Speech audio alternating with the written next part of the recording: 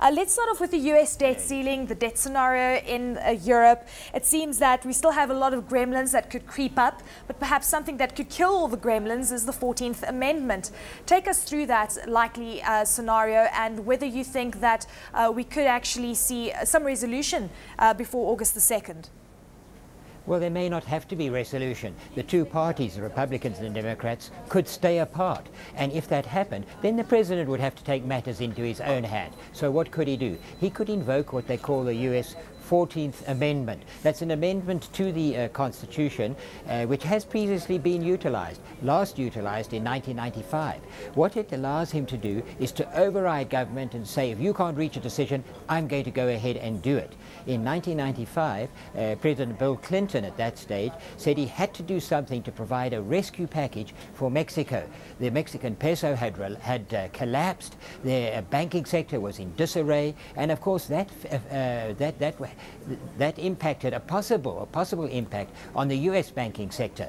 And in order to avoid that possibility, because there's strong ties between the Mexican and U.S. banks, he said he would rather lend them this, uh, this rescue package and avoid a domestic banking crisis. Now, it is, it, the, the, the, procedures are in place, and I think that President Obama could invoke this. Yeah. Yes, it would be challenged in court, but that would take months. In the meantime, they would get breathing space. In the meantime, the Federal Reserve could reprioritize uh, what payments had to be made. Of course, top of the, top of the list would be uh, uh foreign debt servicing, the interest payments on U.S. treasuries. Yeah. And by a bit of managing, they could postpone postpone that, uh, that very close deadline of the yeah. second Well, Ian, where does that leave us? Because we're seeing very light volumes in South Africa and in the US. I mean, we only saw around 8 billion rand passing through the market in South Africa yesterday. Uh, if we do see uh, uh the invocation of this 14th Amendment, does that mean markets are going to stall further until there's resolution, or do you think that we could see a bit more positive sentiment? Well, I don't think that's not, it wouldn't be positive sentiment, but le at least it could perhaps help to reinforce a short-term base around about the present levels. There's no strong move one way or the other right now. And, and I think it may take some of the pressure off the world banking sector. And we get a little bit of a ripple through in activity or lower activity in our banking sector uh, as well. So yes, it would re relieve some pressure temporarily.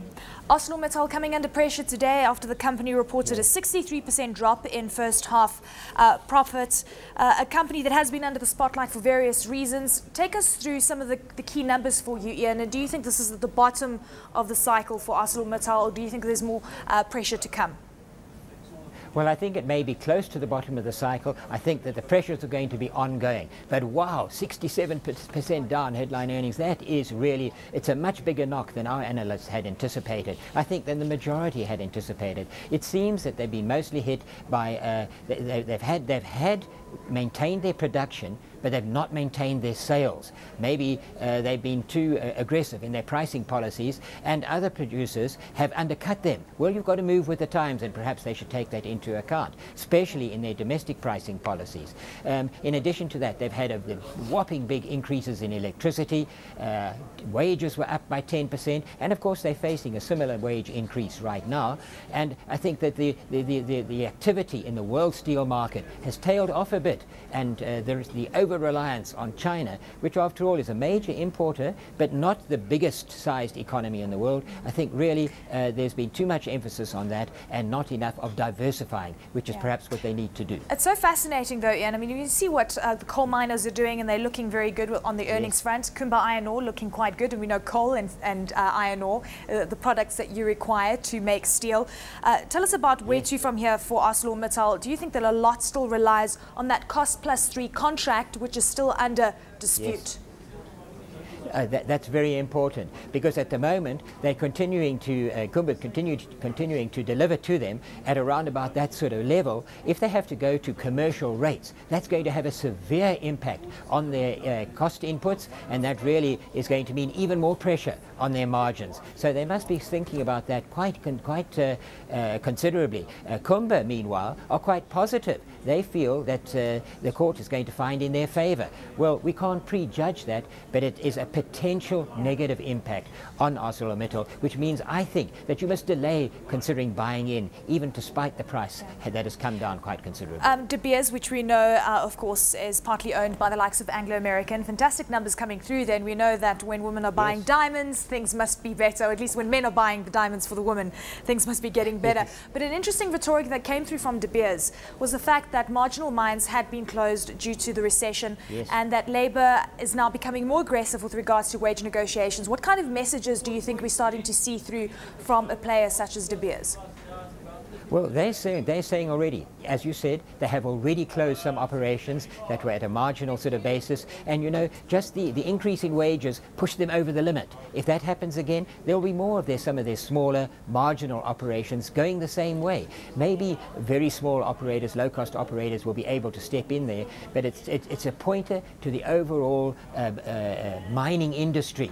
You know, a lot of our, our mines are, are running against very high-cost inputs, and they can't stand this much longer. It's going to help to make us globally price non-competitive. And what's that going to do for employment? It's going to put even more uh, employees out of work. It's going to encourage the mines to go for greater mechanization. We don't need that. So Ian, tell us about the play between interruptions in the economy, such as the petrol uh, uh, uh, uh strike that is occurring and the likes of the coal strike that is, of course, imminent at this point in time. Is an interruption to uh, fuel and coal supplies more detrimental than an increase in wages?